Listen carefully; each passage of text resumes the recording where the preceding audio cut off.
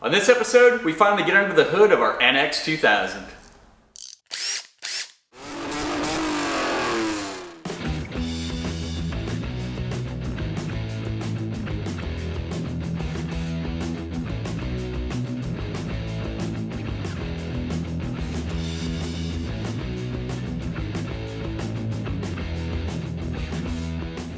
Welcome back to the Auto Obsessive Garage. Chadwick with you again for another installment of Project NX 2K. That's our 1993 Nissan NX 2000 that you see over my shoulder.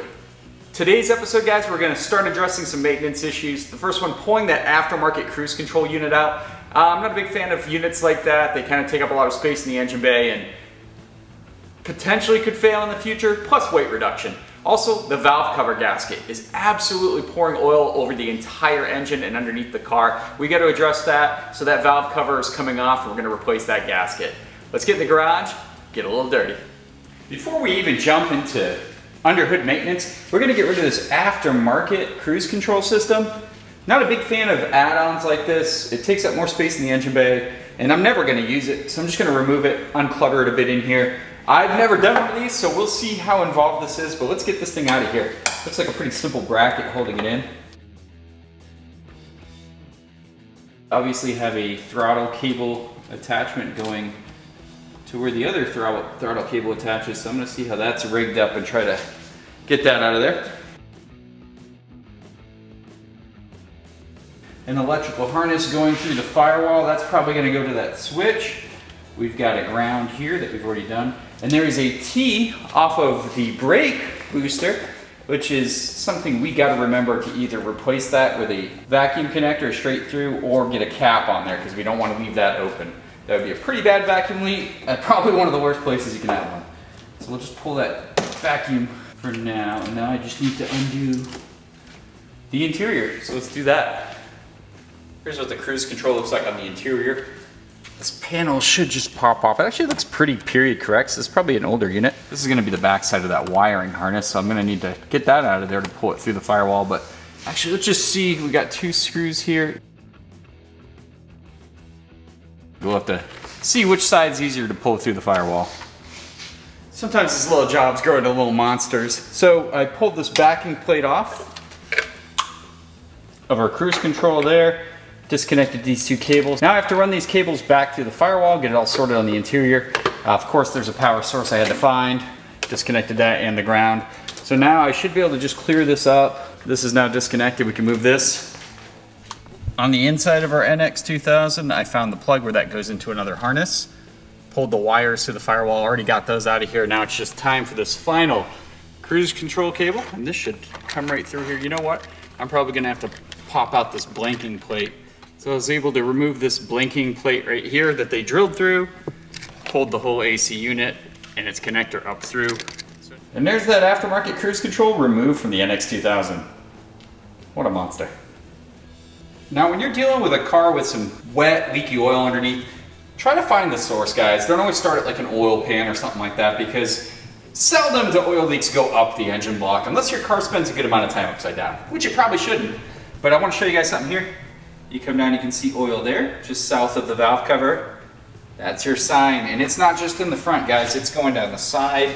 Uh, there's residue where it kind of sprays up there. And you come around the rear of the block, it's the same kind of deal back here. So we have a real bad valve cover gasket here. And that's how you're gonna find that out. Uh, definitely down the side here. Uh, under that timing cover where the timing chain is, it's probably a little oily too. Sometimes it can run down there or the cam seals, but bad valve cover gasket. So we're gonna get that out of there. These plugs and wires, who knows how long they've been in there. Time to change those out, but we've got work to do. But let's start off with this valve cover gasket. And even before we pull the valve cover off, guys, I'm gonna clean under here. You know how I am. I just hate getting covered in grease and oil every time I'm doing something small under the hood. So let's thoroughly clean this and underneath as well. Let's get really dirty. Time to get our leaky valve cover gasket out of there. First thing, we'll pull off the cover for the distributor here. And then I'm gonna pull each spark plug. I'll just go ahead and number them. We will be doing plugs and wires, so just to keep me straight.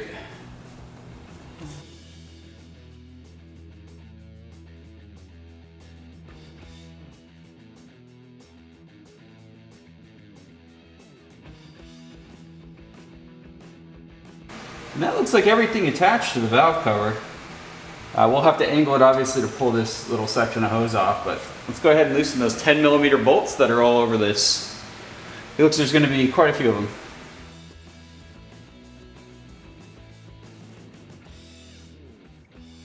It's been quite a while since this valve cover's been changed and it's really on there hard. You wanna give it some nice soft mallet hits. Nothing too hard. These are rubber mallet, obviously. This is thin aluminum. There we go. Once it starts rocking, we're in a good spot. Okay, I actually disconnected this little hose here to get that out of the way. I was having some clearance issues right here. This should allow me to, a little wire clamp here we need to get off. My God, come on valve cover. Making this a challenge for me today. Oh my God, look at the old gasket just sticking to it.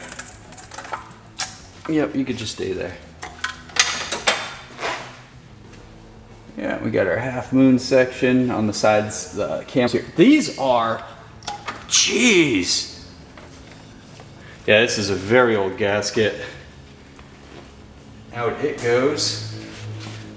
We'll tidy up here a little bit. Uh, a little darker than I usually like to see under here. Probably been a while since I had some oil changes, so we'll get up, maybe clean a little bit. Timing chain looks really good. Put a lot of RTV. They put RTV around the entire thing, which it's on you guys if you want to use RTV. I'm a big advocate of just doing it over like the cams in the corners where you tend to see leaks, but you don't, you know, you don't want to put too much.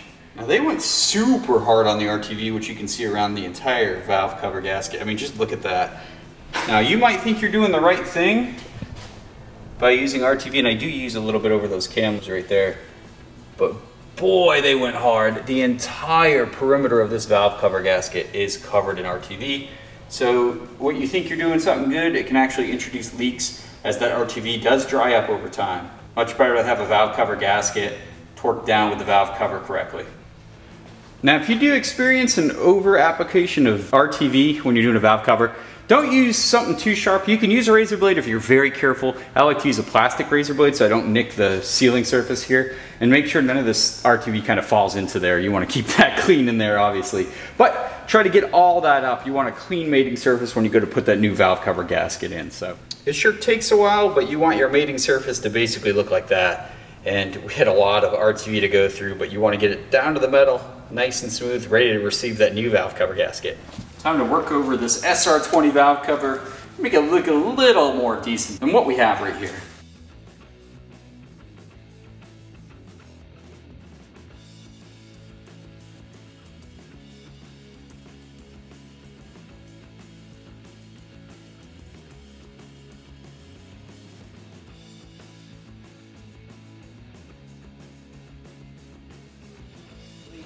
Before we press the valve cover in, it's good to pull these rings out and replace them. If they're hard, they can be kind of a bear to get out of here.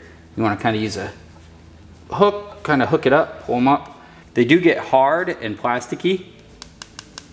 These are pretty hard, not as bad as the actual rubber grommets that were on top, but you don't want to be careful not to mess up the, the mating surface there. So I kind of just poke them in and then kind of lift. Ooh, yeah, they're stuck in there good. Go ahead and pull all four of those out and replace them with your new valve cover gasket kit. There's also a little rubber one right here, smaller than the four spark plug ones.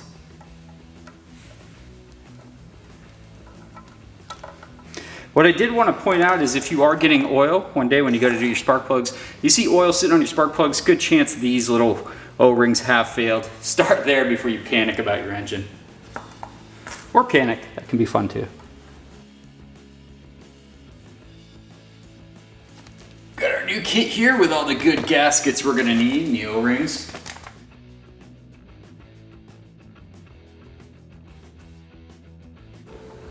Go ahead and press it down into that channel all over. Make sure you have, a, have it lined up right. Make sure there's no defects. You're looking for little pinches, imperfections because if you find them now, it saves you installing it and seeing all that oil come right back out.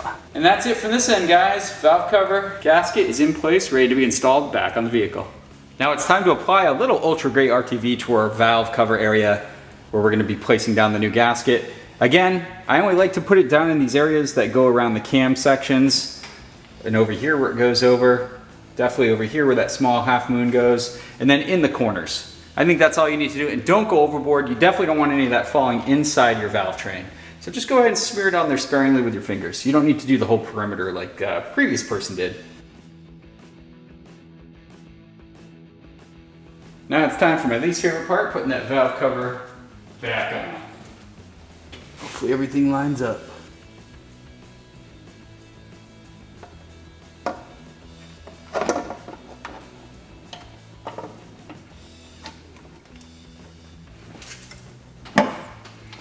Actually had to pull off a little hose in the back here that was kind of fouling as it went down, so that made life a lot easier. Probably should have taken that when I took it out. Now we just gotta kind of massage everything into its right home. All you need to do now is put those nuts down in the rubber grommets with brass caps, tighten them to spec all the way around the valve cover. I like to start from the middle, work my way out.